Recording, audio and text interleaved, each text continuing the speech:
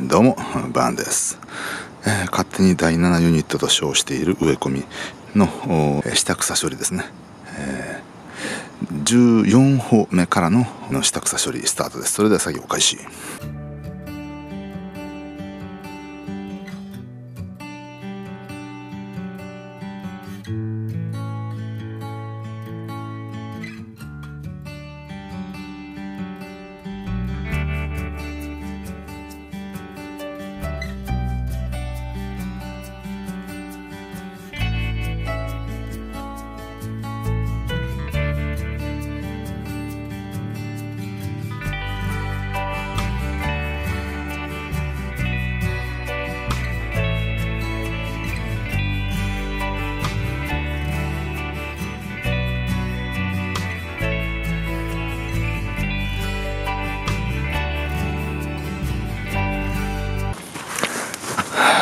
はいどうもです。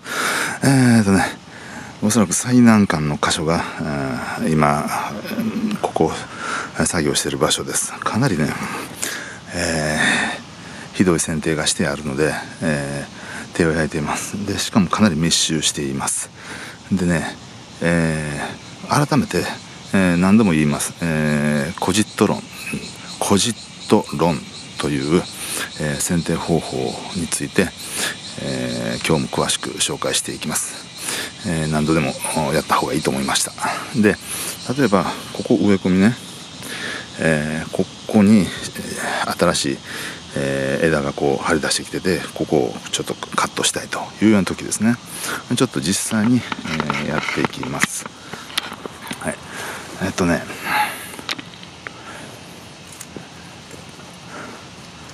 例えばこの辺で今切りたいという時にこの辺ちょきちょきちょきちょきちょきとか切るんじゃなくて、えー、切るのはまずまず悪い例ね。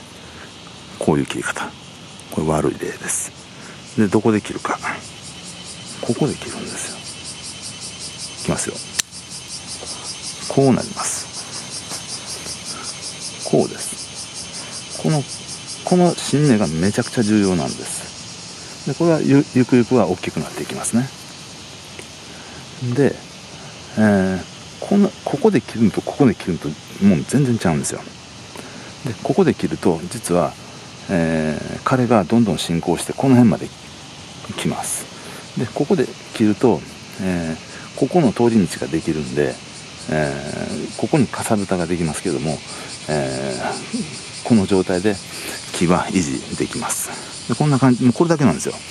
でね、こういう植え込みとかっていうのは、バリカンで、まあ、あの、刈り込みっていう作業をすることがあるんですけど、まあ、あの、こういう柔らかいとこだったらまあいいんですけども、こういう、あの、奥のぶっといところまで、えー、高さを低くしよう、低くしようという思いが、あばかりが先行して、えー、まあ、こういう太いところですね。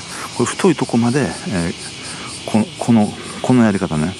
このやり方でカットしていくのは非常に良くないと思います。であの刈り込みバサミっていうのがあるじゃないですか。あの長いやつこういうやつね。こういうやつでやったら一瞬で済むんですけどもあのやっぱり何度も何度も同じ場所で、えー、剪定されてるもんだからそこであのコブみたいなのができてあのいっぱいいっぱい枝分かれする部分が出てくるんですよ。でもちろんそういうあのなんかえー、長方形みたいにしてカットするっていうやり方は簡単で見た目もいいと思うんですけれども、えー、やっぱ自然に近い、えー、剪定方法を僕は取ろうと思います。この辺でカットしたくなるじゃないですか。そうじゃなくてここでカットします。で長い部分は長い部分でちゃんといきますよ。こうこうです。これです、この辺もちょっとやっていきますね。ちゃんと映ってるかな？こうやこんななってたらここです。ちょっとここちょっとまずなんとか。ちょっと見えなかったかもしれないんでいきますよ。ここです。でしかも悪いでね。やり直し聞くんでこれ悪い例です。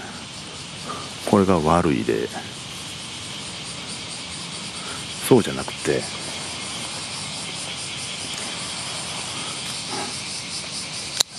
こうです。こうでないと枝の枯れがこっちの方まで来るんです。でそういうとこいっぱいあるんですよ。あの例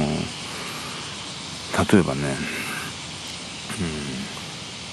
これちょっとお見せいたしますね。太いやつがカットされている。これひどいでしょこれ。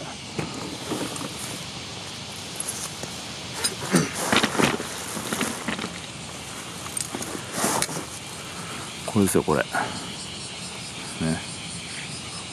こんなこんなことありえないですけどまあとりあえずなんとか修復していくんですけどもこういう修復をする時はここはまだ生きてますよね。ここは生きている。だからここでカットするんですよ。だからここで、えー、カットしたものだからここも枯れてここまでここまで枯れが進行してるんですね。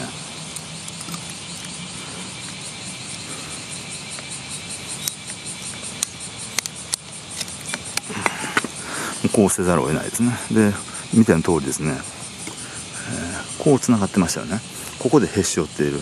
でどんどんどんどん枯れが進行してここまで実際枯れ半分ぐらい枯れてるんですよ。実際はだからこの辺でカットした方がいいかもしれないですけどね。ここもここも枯れてるな。ここもへし折られてるんで実際ねここの枝自体がもうほとんど老朽化しているという状態ですよね。そうは言ってたら全部なくなってしまうんでとりあえずここもカットします。ここなんか完全に枯れてますよね。水分もかけらすらない。とまあ、えー、これもなもうちょっともうちょっとなんとかしましょうか。うん。でも結局ここでもう枯れてしまってるんでこっちはまああのちょっと勢いがないながらも芽があるんでこのままにしておきましょうか。あとこれはもう完全に枯れてるな。完全じゃないですけども。これも途中でここですね、えー、バキッてやられてるんでやるとしたらここですかね。撮影しながらなんです難しいですけど。こうだ。こうですね。ここまで生きてましたね。ここです。ここまで生き生きてました。でこうやっといたらこの枝があることで安全性も確保できるということですね。困難が至る所にあるんですよ。さあ引き続き作業していきます。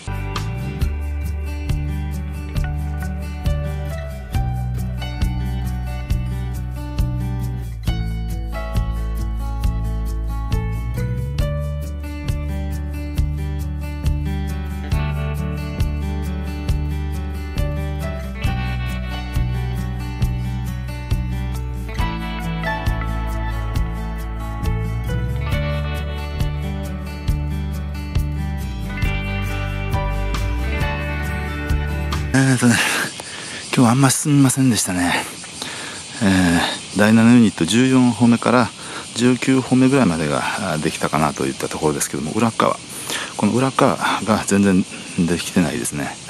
えー、明日以降またね、え、14歩目ぐらいまで戻って、で、えー、裏側の方をやっていこうと思います。で、最後の株が厳しかった。もうほとんど、あの、生きてる株がなかったんですね。ちょっと紹介しますとこんなひどい状況になったんですけどこれこうせざるを得ないんですよこれ。あのほとんどの幹が、えー、途中で、えー、へし折られておりました。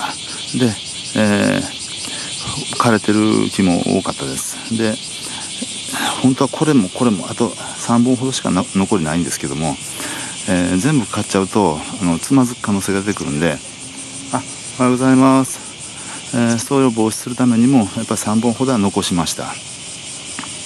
で、えー、とは言ってもこの3本残り3本も上がこの辺でへし折られててで、えー、ここでね泣く泣く、えー、カットせざるを得ないというところですね。本当は斜めにしたかったんですけども、えー、斜めにするとこんだけ低いとやっぱりあの突っ込んだ時にね子供がここに突っ込んだ時に危険なんでここはもうあえて平らにしました。で、えー、あとこの辺ですよね。この辺ももう尖りまくり、えー、これも本当はやった方がいいな、えー、こんこうじゃなくてここじゃなくてこうなんですけどね。で今更これをこう切ったところで彼はもっと奥まで進行しているんであんまり、えー、まあ付け焼け場でしかないといった、えー、そういうようなことになるわけですね。はい、というわけで、え